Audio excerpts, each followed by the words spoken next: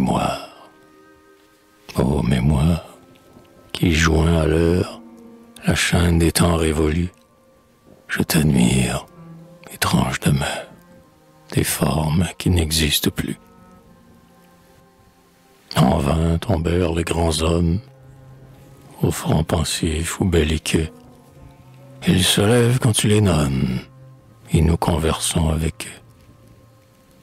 Et si tu permets ce colloque avec les plus altiers esprits, tu permets aussi qu'on évoque les cœurs humbles qu'on a chéris.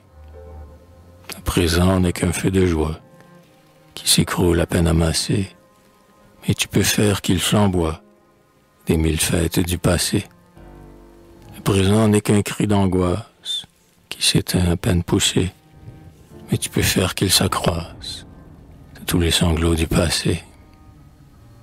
L'être des morts n'est plus visible, mais tu donnes au trépassé une vie incompréhensible, présent que tu fais d'un passé. Quelle existence ai-je rendue à mon père en me souvenant quelle est donc en moi l'étendue où s'agite ce revenant? Un sort différent nous sépare. Comment peux-tu nous réunir à travers le mur qui nous barre, le passé comme l'avenir Qui des deux force la barrière Me rejoint-il ou vais-je à lui? Je ne peux pas vivre en arrière. Il ne peut revivre aujourd'hui.